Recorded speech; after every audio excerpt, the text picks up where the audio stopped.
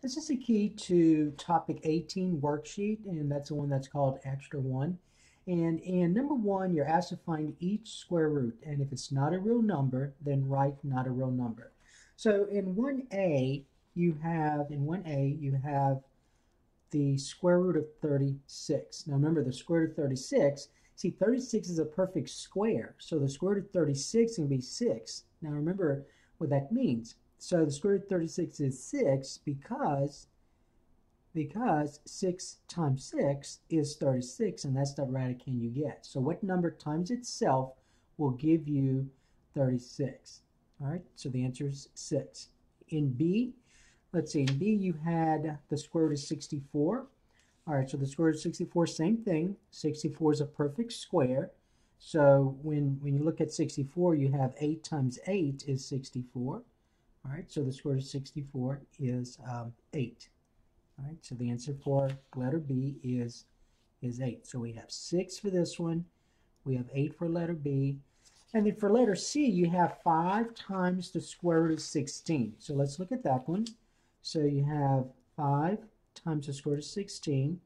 And so remember, 16 is a perfect square as well. And so the square root of 16 is 4. So you get 5 times 4. And so you get 20. And so the answer to letter C is 20. For letter D, you have negative square root of 81. So negative square root of 81. So 81 is a perfect square. And the square root of 81 is 9, because 9 times 9 is 81. So this becomes a negative 9. So letter D is negative 9. In letter E, you have the square root of 9 divided by 25. And so in this case, we're going to use the quotient rule for radicals. So I can rewrite this as the square root of 9 divided by the square root of 25. And remember, the square root of 9 is, is 3, because 3 times 3 is 9. Square root of 25, 25 is a perfect square. So the square root of 25 is 5, because 5 times 5 is 25. And so that's what we get. And so if you multiply this out, I just want to remind you, if you say 3 fifths times 3 fifths, you get 3 times 3 is 9, and then 5 times 5 is 25. And so, and so the square root of 9 fifths, 9 25ths is 3 fifths, because 3 fifths times 3 fifths is 9 25ths. Okay? Okay, so that one, I didn't have a blank here, but that one's going to be 3 fifths. In letter F, you have the square root of a negative 25. So the square root of a negative 25. So remember, you're asking yourself this. You're asking yourself, what times itself is a negative 25? So what times itself is a negative 25? Well, remember, any number, any, let's talk about a non-zero number. So we're not going to worry about zero here, because zero times zero is zero. But, but a negative number times a negative number is positive, right? And a positive number times a positive number is also positive. So no number times itself is ever going, no real number, let me say real number now, and no real number times itself will ever be negative. So you're going to say not a real number. Now it's very important, it's very important that you read the directions. The directions said this. The directions said if it's not a real number, then I need for you to write not a real number. Don't do anything else. Just say not a real number. Make sure you read the directions. Okay, so that took care of that one. So you can say not a real number. All right, now number two, they want you to use your calculator number two. So in number two, you have, um, and, and uh, I'm going to go ahead and, and actually put that on here, but let me get my calculator. So the calculator and so make sure you know how to use your calculator. So number two, you want to round to the nearest thousandth. And so you have the square root of 14. And notice this is a cube root right here. So make sure you know how to how to deal with different roots. So this is the square root of 14. So there's a square root button here. And so you see it right here, the square root button. All right, so we press, you can press second square root to get to it. And so it looks like this. And then you say 14. You don't have to close the parentheses since you're just putting one number right there. And just press equal. And then it said to the nearest, to the nearest thousand. All right, so let me remind you about this. All right, so notice notice on your calculator you have 3.741657 and so on. Okay, so remember this is the tenths place, this is a hundredths place, this is a thousandths right here. That's the thousandths place. And so to round to the thousandths place, you have to look at this place value as well. So you look you have to look at this. So if this number is 5 or greater, then you got to add 1 to the place you want to round off to. So it is 5 or greater, so this becomes 2. So, so this is going to be approximately equal to 3.742. So that is that is this one. So 3.742. All right, now let's look at the cube root. Now with cube root, you're going to have to use, see this function right here, right above this, this white arrow right here? It's right here, so it says uh, x, x root right here. Now for this calculator, to get cube root, you got to press the index first. So the index is 3, you got to do that. Then you're going to press second, and then you're going to press this function right here. And now see it looks like this. And then our radicand is 10.21. So 10.21, put type in 10.21 here. Again, I don't need parentheses since it's just one little thing, one number I'm typing in, and then press equal, and we get this. All right, so we go ahead and write that out. So in in the B part, we have 2.1697, oops, sorry, 2.1694 right here, 2.6914, 1138, and so on. Okay, so again, to thousands place, this is the tenths, hundredths, thousands. So here's the thousandths right here. And you got to look at this place value. Since this is uh, less than 5, then the number in the thousands place stays as it is. So the answer is going to be 2.169. 2.169. And so this becomes 2.169. All right. Okay, so now with the others, again, don't, don't use a calculator with the others. Um, try and do this without the calculator. So the question is, uh, you want to find the cube root of, of um, 343. So what number times itself, what number times itself is 343? All right, so in 3a, you have the cube root of 343. Okay, so so what number times itself is 343? That's the question. So try doing this without the calculator. So so let's say you think it's five. All right, so let's type in five. I mean, write out five. So so let's see. Uh, remember, question mark here. So 5 times 5 is 25, and then 25 times 5 will give us, that's 10, that's 12, so 125. So obviously it's greater than, than, than 5, right?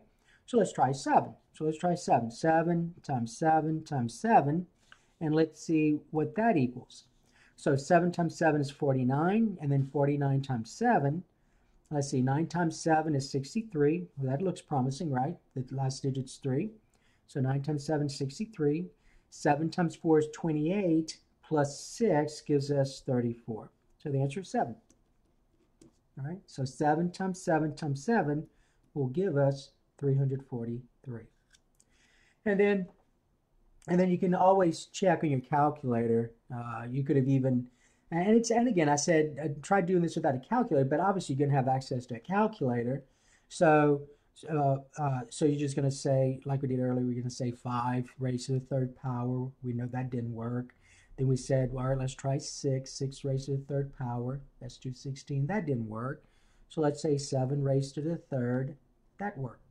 You could also actually done the cube root of 343, but the whole point here, see if you were doing this in class, if you're doing this in class and not virtual, in class you would have done this without the calculator. You would have been told to put the calculator away. So, so just remember you're, you're kind of at a, um, a, a dis, you're kind of at advantage here because you're doing this virtually. Um, but uh, in class you would be doing this without a calculator for this for this assignment, except for number two. But you could have also done the cube root. So remember how we did the cube root? So you'd say 3, the index is 3, and then cube root, 343, press equal, you get 7. Okay? So that's 7. So this one's 7. All right, and then the cube root of a negative 8. So again, what times itself 3 times is negative 8, right? So the cube root of negative 8. So what times itself 3 times is negative 8. Hopefully you can do this without a calculator. So negative 2 times negative 2 times negative 2 is negative 8. So the answer is negative 2. All right, now in letter in number 4, you want to find the principal square root of 100. So you got to know some terminology. So when you're asked to find the principal square root, you're asked to find the positive square root. So principal square root, you got to remember is positive, positive square root, okay? And so the square root of 100 is 10. So the positive square root of 100 is 10. You want to find all square roots of 81. So that means that means positive square root of 81, the principal square root, and also the negative square root. And so the the uh, square roots of 81 would be a positive 9 and a negative 9. All right, let's look at 6a. So in 6a, we have this for 6a. We have, um, put that here. We have the square root of 64 minus the square root of 9. All right, so the square root of 64 we know is 8 because 8 times 8 is 64. 64 is a perfect square. 9 is a perfect square as well, so that will be easy. The square root of 9 is 3 because 3 times 3 is 9. And so 8 minus 3 is now 5. So the answer for 6a is 5. For 6b, you have the cube root of 8 plus, I think it was the square root of 25 square root of 25. So the cube root of 8, so what times itself 3 times it's 8? 8's a perfect cube, so that's 2. 5's a perfect uh, square, so the square root of 25 is 5. So 2 plus 5 is 7. So 6b is 7. And then in 7, you want to evaluate the fifth root of 32. So again, remember what that means. So what times itself 5 times, right? 5 times the index is 5, so 1, 2, 3, 4, 5 is 32. And so um, obviously it's going to have to be a small um, number, so let's let's try 2, and, and 2 is going to work by the way. 2 times 2 is 4, 4 times 2 is 8, 8 times 2 is 16, 16 times 2 is 32. So the answer is 2. All right, that one may be a little bit more challenging for some of you. Uh, so let's try 7b. So at 7b, you have the fourth root of 6, fourth root of 625, right? And so what times itself four times is 625. So without a calculator, you see that last digits, the last two digits 25, right? So, so you know that you're going to try 5 first, correct? You're going to try 5. And so let's try it. So 5 times 5 times 5 times 5. Uh, okay, so 5 times 5 is 25, right? 25 times 5 is 125, right? And so 125 times 5, well, 5 times 5 is 25. 5 times 2 is 10, plus 2 is 12. And then 5 times 1 is 5, plus 1 is 6. So there it is. So the answer is, is 5.